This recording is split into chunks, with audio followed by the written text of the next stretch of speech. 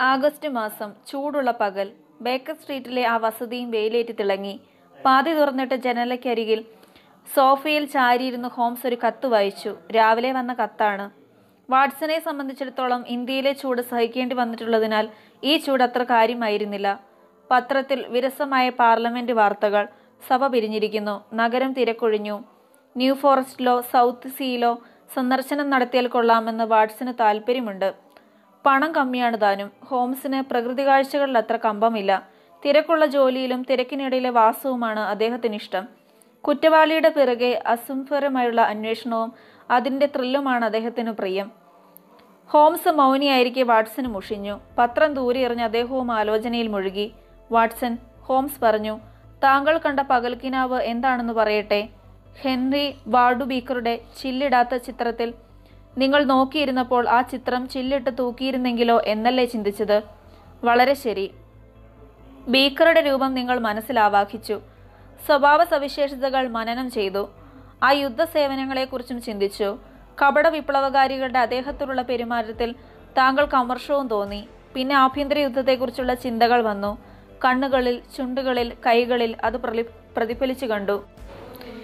നിങ്ങളുടെ തലയുടെ ചലനത്തിൽ നിന്ന് വെറുതെ മരിക്കേണ്ടി വന്ന ആളുകളെക്കുറിച്ചാണ് ചിന്തയെന്ന് തെളിഞ്ഞു. ബലപ്രയോഗത്തിന്റെ കഥയില്ലായ്മയെക്കുറിച്ച് നിങ്ങളിൽ അസംബന്ധം എന്ന ചിന്തയും ഉണ്ടായി. എല്ലാ നിഗമനങ്ങളെയും ശരിയാണ് വാട്സൺ പറഞ്ഞു.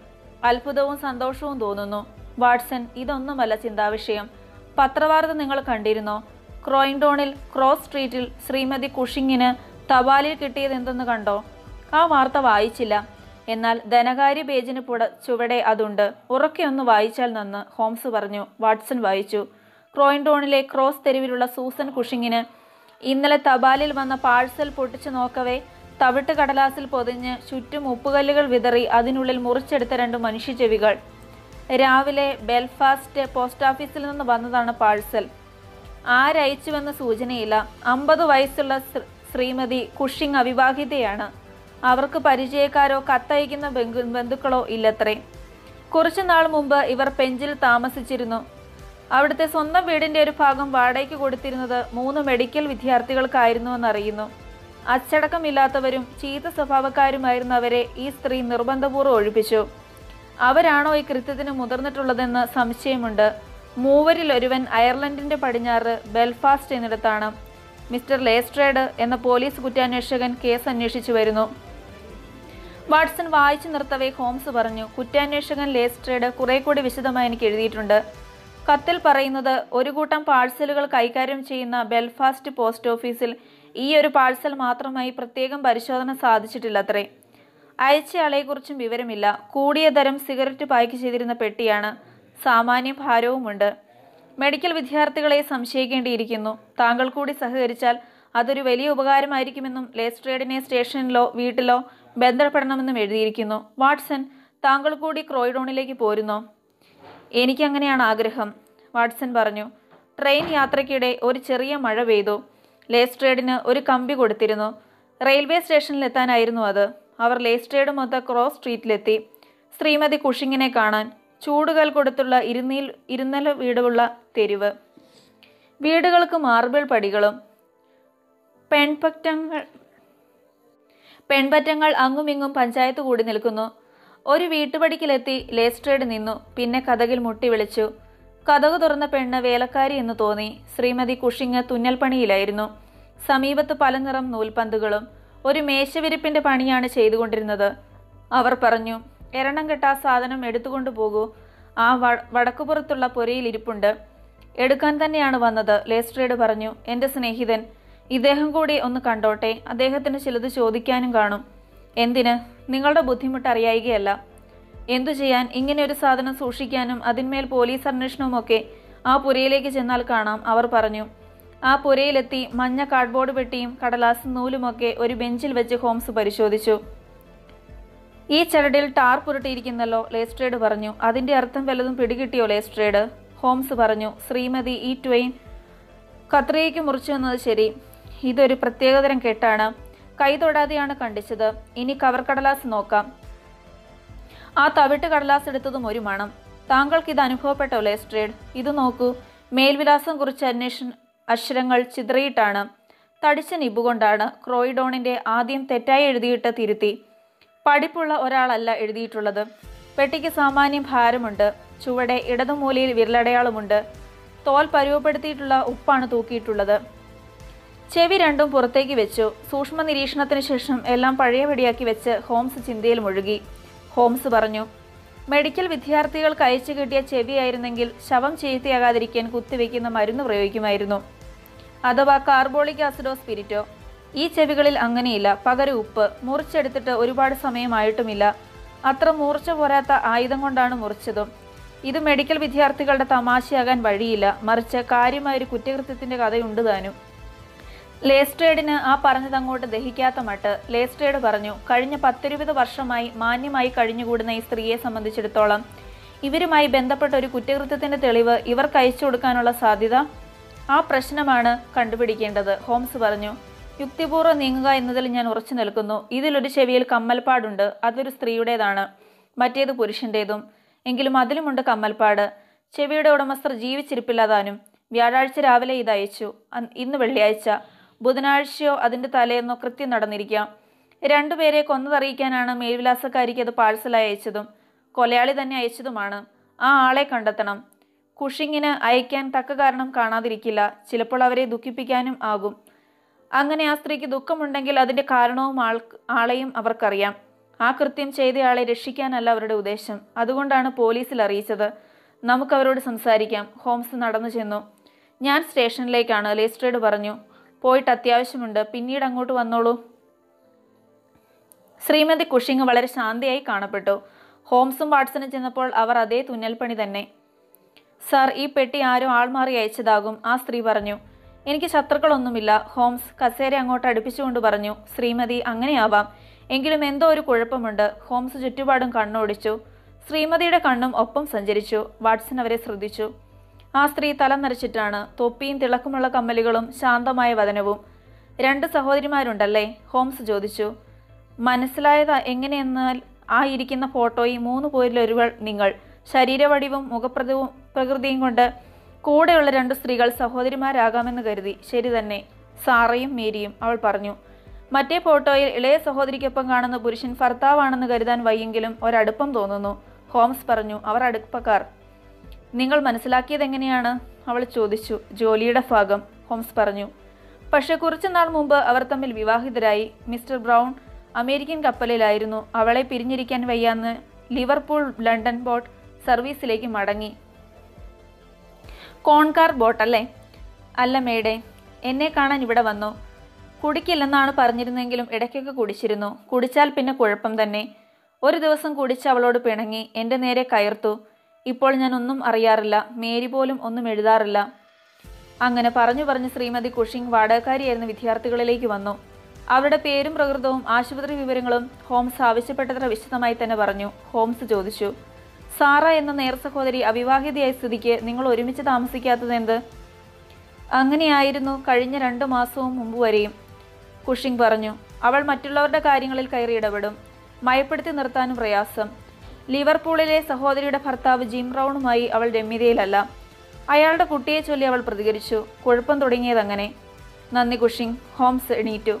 ന്യൂ സ്ട്രീറ്റിലല്ലേ സാറ സഹോദരിയുടെ താമസം? നിങ്ങൾക്കൊരു ബന്ധവുമില്ലാത്ത ഒരു കേസിൽ ഇടപെടേണ്ടി വന്നതിൽ വിഷമമുണ്ട്. വന്ദനം.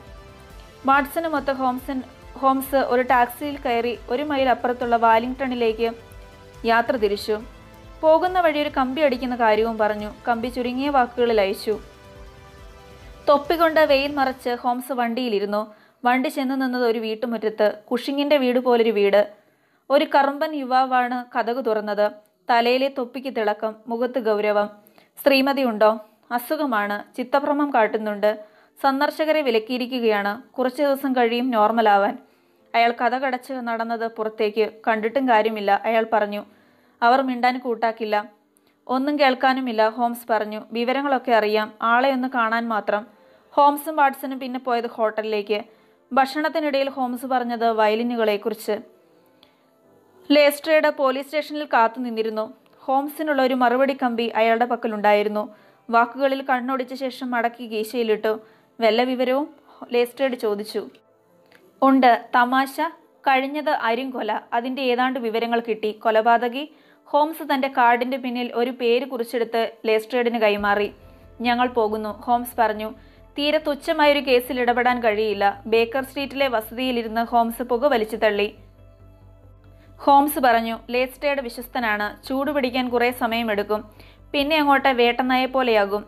ഈ പ്രകൃതമാണ് കക്ഷിയുടെ പ്രശസ്തിയും. കൊലയാളി ആരെന്ന് താങ്കളും ഊഹിച്ചിരിക്കാം. പക്ഷെ ഇരയിൽ ഒന്ന് ആരായിരുന്നു എന്നതാണ്.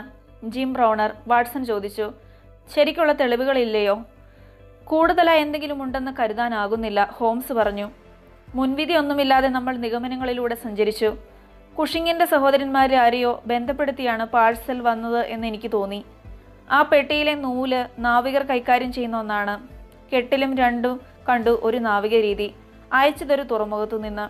പുരുഷന്മാർക്ക് കാതു തുളയ്ക്കുന്ന രീതി നാവികർക്കിടയിലുണ്ട്. ഇരകൾക്കുമുണ്ട് നാവിക നാവിക ബന്ധം. മിസ് എസ് കുഷിങ് എന്നാണ് വിലാസം. മൂത്ത സഹോദരിക്കെങ്കിൽ മിസ് കുഷിങ് മതി. അപ്പോൾ അത് സാറയാണ്. എവിടെയോ ഒരു പിശക്. രണ്ടാളുള്ള അവയവങ്ങളുടെ വൈജാത്യം ഒരു ഡോക്ടറായ താങ്കൾക്ക് അറിവുള്ളതാണല്ലോ. ചെവികൾക്കുള്ളത്ര വ്യത്യാസം മറ്റേ അവയവങ്ങളിൽ ഉണ്ടാവാറില്ല. ആ വിഷയത്തെക്കുറിച്ച് വളരെ വിശദമായി തന്നെ ഞാൻ പഠിക്കുകയും പ്രബന്ധം തയ്യാറാക്കുകയും ചെയ്തിട്ടുണ്ട്. ആ രണ്ട് ചെവികളിലൊന്നിൽ ശ്രീമതി കുഷിങ്ങിന്റെ ചെവികളിലൊന്നിനോട് സാമ്യമുണ്ടെന്ന് ഞാൻ മനസ്സിലാക്കി. അപ്പോൾ അതേ രക്തബന്ധക്കാരിയുടേതാകാം ആ ചെവി. ആ ബ്രൗണർ ഇളയ സഹോദരിയെ വിവാഹം ചെയ്തു. അവൾക്ക് മൂത്തവൾ സാറ. അയാളോട് ലോഹ്യത്തിൽ കഴിയുകയും ചെയ്തു. സാറ അയാളോട് പിണങ്ങി മാറി താമസിച്ചു. പാഴ്സൽ പഴയ മേൽവിലാസിൽ എത്തുകയും ചെയ്തു. ആ നാവികന്റെ പ്രത്യേക രീതികളെക്കുറിച്ചും നമ്മൾ പഠിച്ചു. ഭാര്യയുമായി കഴിയാൻ അയാൾ ജോലി കളഞ്ഞു. കുടിയിടയ്ക്ക് നിർത്തും പുനരാരംഭിക്കുകയും ചെയ്യും. അയാളുടെ ഭാര്യയാകാം കൊല്ലപ്പെട്ടിരിക്കുക. മറ്റൊരിര ഇയാളെപ്പോലൊരു നാവികൻ തന്നെയാകാം. ആ ലക്ഷ്യം നിറവേറ്റിയതിന്റെ തെളിവ് സാറയ്ക്ക് അയച്ചതും. സാറ ലിവർപൂളിൽ ഉണ്ടായിരിക്കുണ്ടായ ചില കാര്യങ്ങളാകാം കൊലപാതകത്തിന് പിന്നിൽ. അസൂയയും ഉണ്ടാകാം.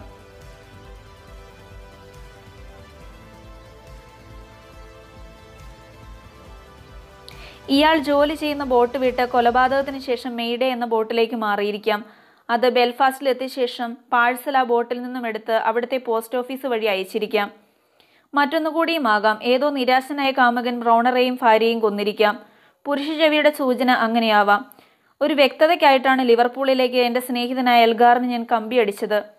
ബ്രൗണറുടെ ഭാര്യ സ്ഥലത്തുണ്ടോ? ബ്രൗണർ മേയുടെ ബോട്ടിൽ സവാരിയിലാണോ എന്ന എന്റെ അന്വേഷണത്തിന് മറുപടി ലഭിക്കേണ്ടിയിരിക്കുന്നു. നമ്മൾ വില്ലിംഗ്ടണിൽ ചെന്ന് സാറയെ കണ്ടു.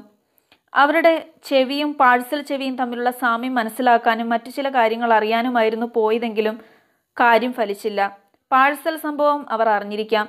അതിന്റെ ഉടമസ്ഥരെക്കുറിച്ച് അവർക്കറിയാം. അതുമുതലാകാം അവർക്ക് വിഭ്രാന്തി ബാധിച്ചതും. അവരുടെ കാര്യത്തിൽ ഇനിയും കാത്തിരിപ്പ് വേണ്ടിയിരിക്കുന്നു. മേരി ബ്രൗണറുടെ വീട് അടഞ്ഞു കിടന്നിരുന്നു. അവർ ബന്ധുവീടുകളിലേക്ക് പോയിരിക്കാമെന്ന് ആളുകൾ കരുതി.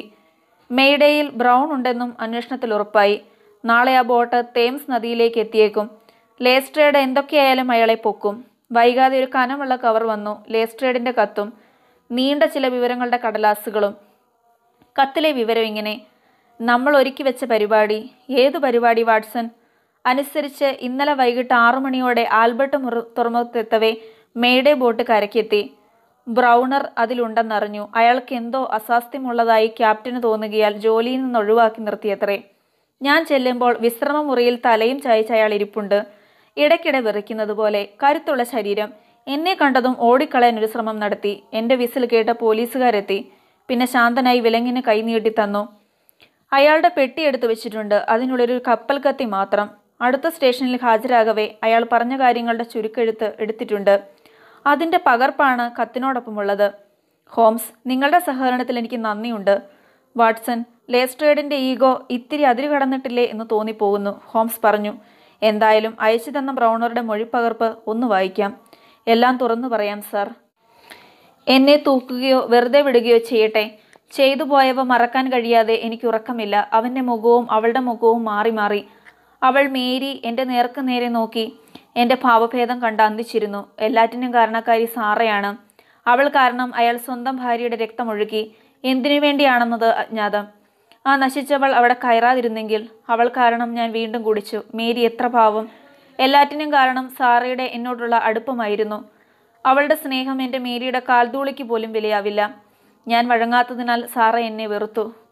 ആ സഹോദരിമാരെ ഇങ്ങനെ വേർതിരിക്കാം. നല്ലവളായ ചേച്ചി മാലാഖയെ പോലെ ഏറ്റവും ഇളയവൾ. അവർക്കിടയിലെ പിശാജാണ് സാറ. മേരിയെ ഞാൻ കെട്ടുമ്പോൾ അവൾക്ക് ഇരുപത്തിയൊമ്പതും സാറയ്ക്ക് മുപ്പത്തിമൂന്നും. മേരിക്ക് സദൃശിയായ ഒരു വളയെ ചൂണ്ടിക്കാട്ടാൻ അന്ന് ലിവർപൂളിൽ ആരുമില്ല. ഒരാഴ്ച ഒപ്പം താമസിക്കാൻ സാറയെ ഞാനും മേരിയും അവിടേക്ക് വിളിപ്പിച്ചു. പക്ഷെ ഒരാഴ്ച കഴിഞ്ഞിട്ടും സാറ ഞങ്ങളോടൊപ്പം തന്നെ കഴിഞ്ഞു. ക്രമേണ ഞങ്ങളിൽ ഒരാളുമായി. ഭേദപ്പെട്ട ഒരു ജീവിതമായിരുന്നു എന്റേത് പണം മിച്ചം പിടിച്ച് സൂക്ഷിച്ചു. കാശിന്റെ വിലയറിഞ്ഞ് മാത്രം ചിലവഴിച്ചു. പക്ഷേ എല്ലാ ശനിയാഴ്ചകളിലും ഞാൻ വീട്ടിലെത്തും. കപ്പലിൽ സാമഗ്രികൾ നിറയ്ക്കുന്ന വേളകളിൽ ഒരാഴ്ചയോളം അവധിയും കിട്ടിയിരുന്നു. അവൾ സാറ എന്നോട് അടുപ്പം കൂടിയിരുന്നത് ഈ സമയത്തായിരുന്നു. ഉയരമുള്ള കറുപ്പ് നിറക്കാരി ചുറുചുറുക്കോടെ എല്ലാം ചെയ്യുമായിരുന്നു. എന്നാൽ ദുർബല വികാരങ്ങൾ അവരെ ഭരിച്ചിരുന്നു. ഒപ്പം ലേശം തലക്കനവും വശ്യമായുള്ള കണ്ണീറുകൾ എന്റെ മേൽ കനൽ പാറിച്ചു. പക്ഷേ മേരിയുടെ സാന്നിധ്യം ദേവികൃപയാൽ അപകടകരമായ അവസ്ഥ ഒഴിവാക്കി. പക്ഷേ സാറയുടെ ഉള്ളിലിരിപ്പ് കുറേശ്ശെ പുറത്തു വന്നു. എന്റെ മേൽ ഒറ്റയ്ക്കുള്ള അവകാശം. അവൾ വിടാതെ പിറകെ കൂടി. എനിക്കങ്ങനെ ആലോചിക്കാനേ വയ്യ. ഒരു ദിവസം ഞാൻ ജോലി കഴിഞ്ഞ് വീട്ടിലേക്ക് എത്തവേ മേരിയില്ല. സാറയുണ്ട്. മേരി സാധനങ്ങൾ വാങ്ങാൻ പോയി എന്നവൾ പറഞ്ഞു. ഒപ്പം ഇങ്ങനെയും. അവൾ ഉണ്ടെങ്കിലേ നിങ്ങൾക്ക് തൃപ്തി വരുമെന്നാണോ? അവൾ എന്റെ കയ്യിൽ മിടി പിടിമുറുക്കി. പൊള്ളുന്ന ചൂട് കണ്ണിൽ കനലിളക്കം. ഞാൻ മേരിയെക്കുറിച്ച് ഓർത്തപ്പോൾ കൈകൾ അറിയാതെ വേർപെട്ടു. പഴഞ്ചനായി പേടിത്തൊണ്ടൻ. ഒരു പരിഹാസ ചിരിയോടെ അവൾ പുറത്തിറങ്ങി.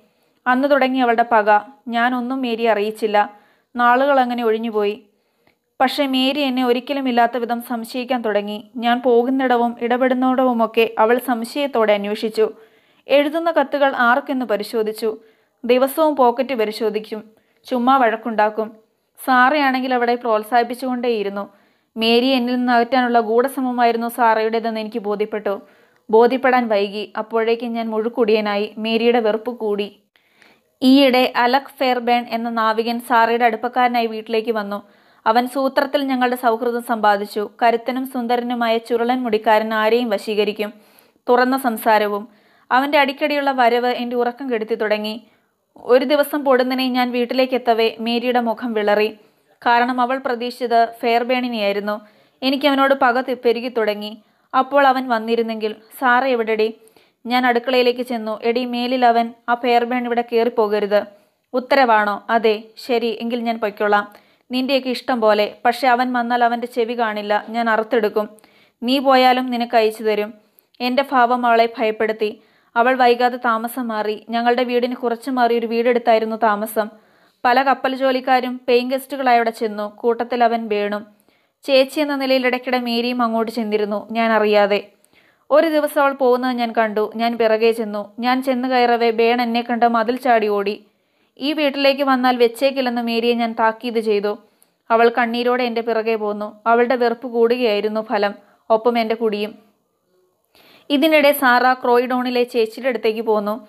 ഒരു ദിവസം ആകസ്മികമായി ഞാൻ വീട്ടിലേക്ക് മടങ്ങി. ഒരാഴ്ചത്തെ കപ്പൽ യാത്രയ്ക്കായി എത്തവേ മെയ്ഡേ കപ്പൽ അടിയന്തര അറ്റകുറ്റപ്പണികൾക്കായി കൊണ്ടുപോയിരുന്നതിനാൽ ഞാൻ മടങ്ങിയതായിരുന്നു. വീടോടടുക്കവേ ഒരു കാറ് എനിക്ക് അഭിമുഖമായി കടന്നുപോയി. അതിൽ ഫെയർബോണിനോട് ഒട്ടിച്ചേർന്ന് എന്റെ മേരിയും ഞാൻ പ്രതിമ പോലെ അങ്ങനെ നിന്നുപോയി. ഞാൻ കാറിനെ പിന്തുടർന്നു. ഒടുവിൽ റെയിൽവേ സ്റ്റേഷനിൽ അവരെ ആൾക്കൂട്ടത്തിനിടയിൽ കണ്ടു. ന്യൂ ബ്രൈറ്റണിലേക്കാണ് അവർക്ക് ടിക്കറ്റ് എന്നറിഞ്ഞു ഞാനും ടിക്കറ്റ് എടുത്തു. അവർ കാണാതെ ഞാൻ ഒരിടത്ത് ഒതുങ്ങി കയറിക്കൂടി. സ്ഥലം എത്തവേ ഒരകലം വെച്ച് ഞാൻ അവരെ പിന്തുടർന്നു. ബോട്ട് ചെട്ടിയിലെത്തി ഉല്ലാസ സഞ്ചാരത്തിനായി അവർ ബോട്ടിൽ കയറി. മറ്റൊരു ബോട്ടിൽ ഞാനും. ഒരു മൈൽ അപ്പുറം എത്തവേ ഞാൻ അവരോടടുത്തു അവരുടെ ബോട്ടിൽ അവർ രണ്ടുപേർ എന്റെ ബോട്ടിൽ ഞാൻ മാത്രം. ഞങ്ങൾക്കിടയിൽ മൂടൽമഞ്ഞ് ബോട്ടുകൾ തൊട്ടുരുമി പോകവേ അവർ എന്നെ കണ്ടു. അവൻ തുഴ മുറുകെ പിടിച്ചുയർത്തി. എന്റെ കണ്ണിൽ കനൽ പാറി. ഞാൻ ആ തുഴ തട്ടിയെറിഞ്ഞു. കരുതി വെച്ചിരുന്ന ഒരു വടിക്കൊപ്പം ഞാൻ തുഴ മുറുകെ പിടിച്ചു. അവന്റെ തല നോക്കി ആഞ്ഞടിച്ചു. അവന്റെ തല ചതഞ്ഞു. എന്റെ കോപം അടങ്ങി തുടങ്ങിയതായിരുന്നു. പക്ഷേ അവൾ അവനുമേൽ വീണ് കെട്ടിപ്പിടിച്ചു കരഞ്ഞത് എനിക്ക് സഹിക്കാനായില്ല. അവളോട് പുറക്കാമെന്ന് കരുതിയിരുന്ന ഞാൻ പക്ഷേ പിശാചിനെ പോലെയായി. അവൾക്കും ആഞ്ഞൊരടി തന്നെ കൊടുത്തു. അവളും അവനൊപ്പം ചതഞ്ഞു ചത്തു. ഇവൾക്കൊപ്പം സാറ കൂടി ഉണ്ടായിരുന്നെങ്കിൽ ഞാൻ അവളുടെ ചോരയ്ക്കായും കൊതിച്ചു. പിന്നെ എന്റെ കത്തി അത് ചെയ്തു. ആ കാതുകൾ. ശവങ്ങൾ കൂട്ടിക്കെട്ടി ബോട്ട് ഞാൻ താഴ്ത്തിവിട്ടു. മൂടൽമഞ്ഞിൽ ബോട്ടുകൾ അപകടപ്പെടുക സ്വാഭാവികം.